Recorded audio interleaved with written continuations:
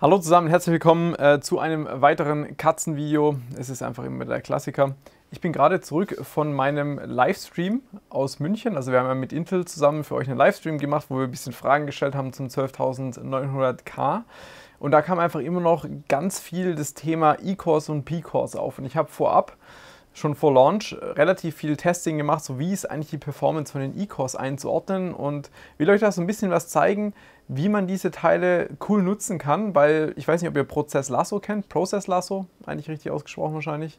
Es ist ein mega cooles Tool. Damit werden wir heute mal so ein bisschen was ausprobieren. Unser heutiges Hardware-Bundle besteht aus dem MSI Z690 Unify X. Das ist quasi das Overclocking-Board von MSI. Sehr schönes Ding. Ich habe mit dem Bundle hier schon eine Overclocking-Anleitung gemacht. Das kommt auch in den nächsten Tagen. Da muss ich noch ein bisschen Arbeit reinstecken, ein paar so Graphen erstellen, weil da wollte ich so ein bisschen erklären, wie die CPU aufgebaut ist, was die Spannungen zum Beispiel betrifft. Das habe ich noch so ein bisschen vermisst in den bisherigen Videos. Das kommt dann demnächst online. Ansonsten 5200 C36 drauf, nichts Besonderes. Der 12900K hier drauf läuft aktuell 5,1 GHz auf den P-Cores und 4,2 GHz manuell übertaktet auf den E-Cores. Und jetzt werfen wir gleich einen Blick auf Prozess Lasso. Vorher reden wir aber noch kurz über den Sponsor des heutigen Videos. Denn dieses Video wird unterstützt von unserem Partner Letishops, mit dem wir schon ganz oft zusammengearbeitet haben, das ich selber auch schon, ich weiß gar nicht wie oft benutzt habe. Seht ihr auch hier in meinem Portal. Ich habe mir letztes Jahr mal 300 Euro ausgezahlt, habe immer noch 80 Euro offen, die sollte ich mir auch mal auszahlen. Habe mir zum Beispiel im Mai mal HDDs bestellt bei Saturn und da schon alleine 63 Euro zurückbekommen. Und ich weiß, viele von euch äh, fiebern dem Black Friday entgegen und natürlich könnt ihr bei Black Friday sicherlich bei vielen Aktionen Geld sparen mit Letishops, aber eigentlich bei jeder Bestellung. Aktuell hat Lady Shops eine Black November Aktion laufen. Ihr könnt damit bis zu fünffachen Cashback bekommen. Das heißt, bei einer Bestellung statt 10 Euro dann entsprechend 50 Euro zurück. Zum Beispiel hier bei Saturn funktioniert das wunderbar und da habe ich eine SSD gefunden, die schon ein echt guter Deal ist. Hier 1 Terabyte externe Samsung SSD für 88 Euro und wenn ich die jetzt bestelle, dann bekomme ich darauf nochmal 5% Rabatt und das ist preislich auf jeden Fall absolut unschlagbar. Alle 25 Euro bekommt ihr außerdem noch einen Verlosungsschein, weil die verlosen in diesem Monat relativ krasse Preise, findet ihr dann alles auf der Website. Den einfachsten Überblick habt ihr auch, wenn ihr das Ganze einfach als Browser-Extension bei euch hinzufügt. Mehr findet ihr über den Link unten in der Beschreibung. Hier haben wir jetzt unser Setup. Ich habe schon mal einen Cinebench gemacht. Den Single Run, den wollen wir uns jetzt auch fürs Video nicht anschauen. Wir machen nochmal kurz einen Multi. Ihr seht auch hier temperaturtechnisch ist es so ein bisschen am Limit. Also viel mehr kann man der CPU auf jeden Fall nicht zumuten als 5.1 bei 1,34, zumindest mal für Cinebench nicht. Aber einfach mal, damit wir natürlich den Vergleich haben, damit wir gleich den Citybench R20 nämlich auf den E-Cores laufen lassen können. Das ist nämlich mein Vorhaben. Das geht mit Prozess Lasso einfach, Process Lasso, nämlich ultra elegant. So, knapp 11.000 Punkte Multi, 750 knapp im Single. Und hier haben wir jetzt Process Lasso. Ihr könnt euch das so ein bisschen wie ein extrem intelligenter Task Manager vorstellen, wo ihr eben alles so sehen könnt hier in dem Log, was passiert denn auf meinem System, auch in welcher Konfiguration zum Beispiel dann Cinebench läuft. Cinebench habe ich im Hintergrund noch offen, zumindest mal einfach die Anwendung. Das seht ihr dann hier und da könnt ihr dann so Sachen machen wie CPU Affinity, also zu welchen Kernen soll es zugeordnet sein oder wie sieht die Priorität aus. Das ist nämlich auch relativ interessant. Ich weiß gar nicht, warum das Windows 11 macht, aber bei mir ist zumindest mal die Priority Class ist auf Below Normal. Also solche Sachen, die kann man hier dann auf jeden Fall immer ändern. Da könnt ihr dann auch auf Always machen. Das, also wenn ihr Current macht, dann stellt ihr das natürlich jetzt nur einmal ein, schließt das Programm, dann ist es wieder weg. Aber wenn ihr sagt, ey, ich will eigentlich immer, dass das mindestens bei Above Normal oder High läuft, für die beste Performance, dann könnt ihr das hier so einstellen. Was natürlich mega cool ist, dass wir jetzt hier auf Always gehen können und sagen, okay, beziehungsweise wir wählen jetzt einfach mal hier irgendwas aus und bei Options und CPU, CPU Affinities, hier haben wir jetzt Cinebench drin. Und wenn ihr das jetzt anklickt hier, dann, also doppelklickt, dann habt ihr hier oben den Cinebench drin stehen und da könnt ihr jetzt sagen, okay, wir nehmen jetzt einfach mal alle Pi-Kerne raus. Also die ersten 16 Threads hier, das sind unsere Pi-Kerne, also jeweils immer ein Kern und dann ein Thread quasi, also der, der SMT-HT-Thread. Das sind dann immer die zwei zusammengehörigen und die letzten acht, die ihr hier sehen könnt, das sind unsere E-Cores. Dann machen wir Add to List und so können wir jetzt einfach Windows dazu zwingen, Cinebench nur auf den E-Cores laufen zu lassen. Das dauert jetzt natürlich ein bisschen länger und dann sind wir gleich zurück, wenn zumindest mal der Single-Threaded Run durchgelaufen ist. Also ihr werdet überrascht sein, wenn man sich die E-Cores quasi exklusiv anschaut und dann mal vergleicht mit CPUs, die es so an sich normale CPUs gibt, dann äh, ist die Performance tatsächlich schon sehr überraschend. Was ich zu Process Last noch kurz sagen wollte, ist, ich habe das Tool vor vier, fünf Jahren mal entdeckt bei einer HW-Bot Challenge, als wir den CPU-Test mit einer anderen CPU-Affinity machen mussten als den 3D-Test und das konnte man über die unterschiedlichen Prozesse, über das Log einfach ultra elegant machen. Deswegen ist es ein sehr cooles Tool, kostet 20 Euro. Es gibt auch eine Freeware davon, also man muss nicht unbedingt die Pro-Version nehmen. Ich weiß aber nicht genau, weil ich die Lizenz jetzt schon seit vielen Jahren habe. Ich weiß nicht genau, was jetzt der Unterschied zwischen der, der Freeware quasi ist und der Pro-Version. Vielleicht braucht ihr das gar nicht, vielleicht müsst ihr es gar nicht bezahlen, falls ihr es probieren wollt. Wahrscheinlich ladet es mal runter und probiert das mal aus, was man damit alles machen kann, bevor man das jetzt blind kauft. Und was ich noch hinzufügen wollte, ist, wenn man das installiert, dann gibt es da auch so vordefinierte ja, Optimierungsprofile, die da drin sind und das nennt sich dann irgendwie Bitsum Pro Balance und das ändert auch so die CPU-Priorität von Prozessen im Vordergrund und Hintergrund. Das würde ich tendenziell aber erstmal deaktivieren. Also ich deaktiviere das auch immer, wenn ich das installiere, weil ansonsten wisst ihr nicht genau, was die Software so mit eurem System macht. Lieber alles manuell einstellen und probieren, dann seid ihr auf der sicheren Seite. Also nicht, dass ihr dann überrascht seid, wenn ihr das verwendet. Das solltet ihr auf jeden Fall deaktivieren.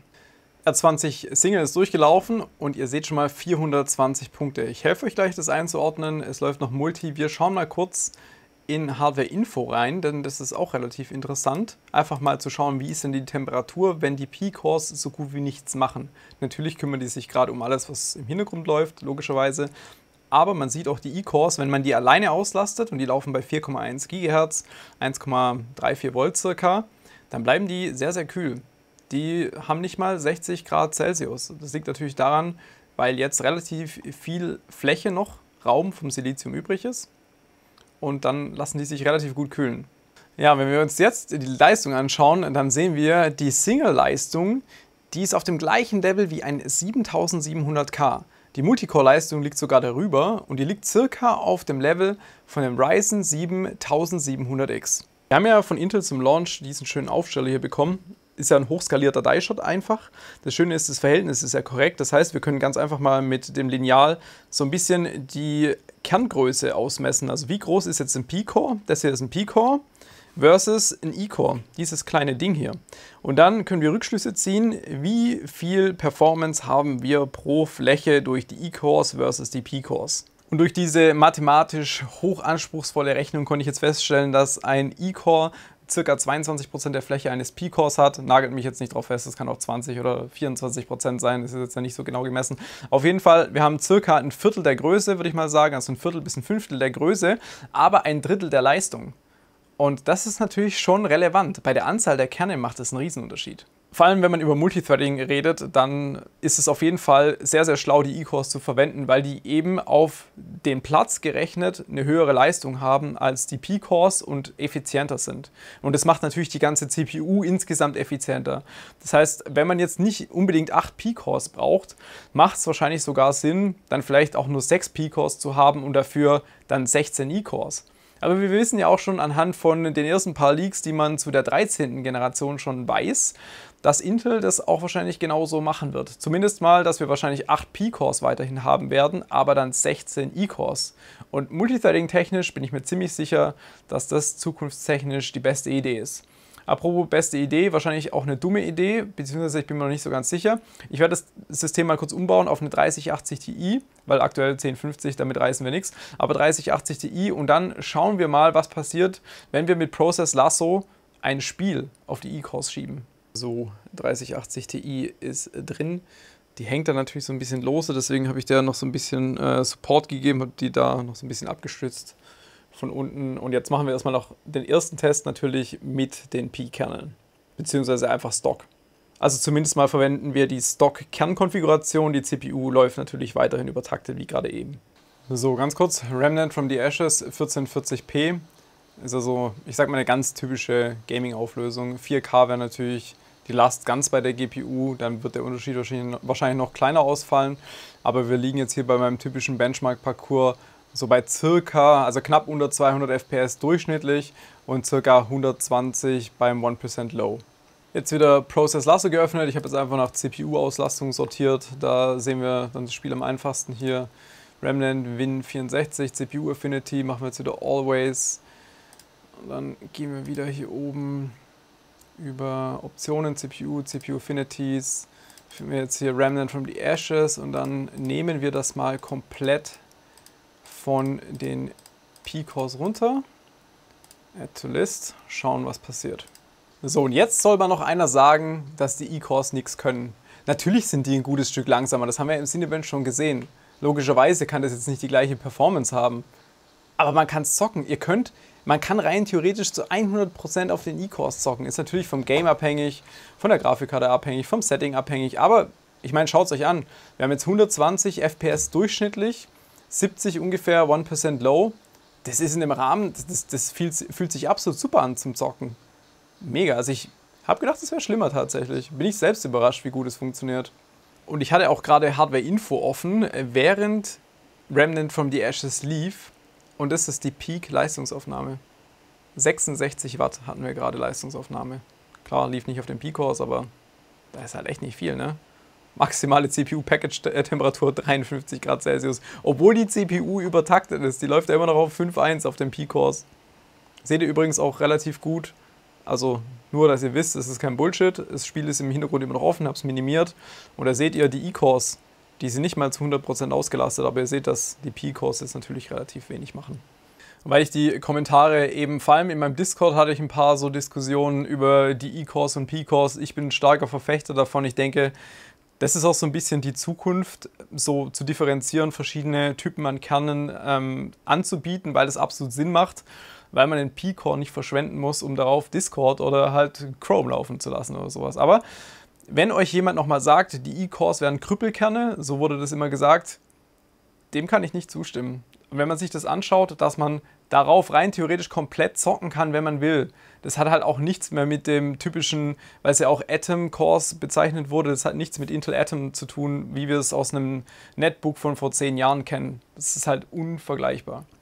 Eine Sache habe ich fast vergessen. Ihr könnt natürlich nicht nur dafür sorgen, dass zum Beispiel ein Spiel auf den E-Cores läuft, sondern ihr könnt auch sagen, dieses Programm soll immer auf den P-Cores laufen oder dieses Programm soll immer auf den E-Cores laufen. Einfach immer dann die kompletten P-Cores auswählen oder die kompletten E-Cores auswählen für den speziellen Prozess, was auch immer dann ihr verwenden wollt, ob das ein Benchmark ist, irgendein Tool im Hintergrund oder was auch immer. Weil ich habe die zwölfte Generation zwar jetzt ausgiebig getestet fürs Review, aber natürlich nicht im Alltag. Also ich habe im Alltag immer noch mein äh, Projekt Unvernunfts-PC. Dementsprechend habe ich keine Alltagserfahrung mit der zwölften Generation. Und es kann schon gut sein, dass es irgendein Programm gibt, was dann vielleicht nicht so funktioniert oder anders angesiedelt wird, als ihr euch das vielleicht vorstellt. Und dann könnte man dem so ganz easy manuell einfach entgegenwirken. Also so gesehen echt ein cooles Ding. Alles klar, dann verabschiede ich mich jetzt hier mit dem Video. Macht's gut, bis dann.